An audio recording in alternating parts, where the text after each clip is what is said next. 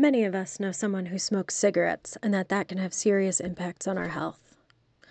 I'm making this vlog to share some real facts about the effects of smoking. Number one, nicotine, which is in cigarettes, has over 7,000 toxic chemicals in it that cause health deterioration through smoking.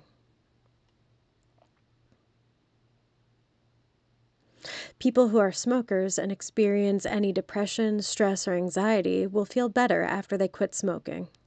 Some people think mental health symptoms get worse if they quit smoking, but that's not true.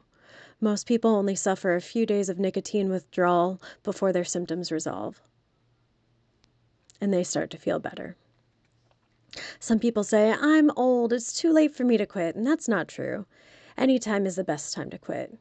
It doesn't matter if you're old or young, once you quit, you'll start to notice some immediate health improvements, and continuing to be smoke free will, for a long time will show drastic long term health improvements. Around a few tens of thousands of people who have never smoked cigarettes die each year from breathing other people's cigarette smoke.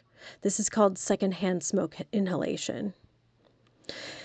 When children are exposed to secondhand smoke, it can cause bronchitis, pneumonia, asthma, ear infections, and more.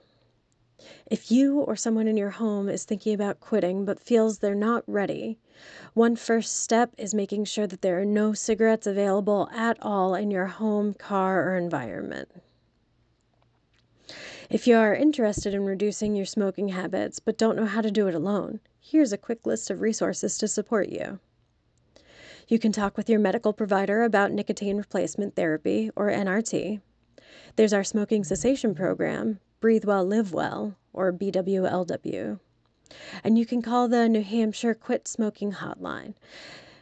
And there are also many free apps you can download on your smartphone to help you reduce your smoking habits until you're ready to quit. Our goal is to have a healthier future together.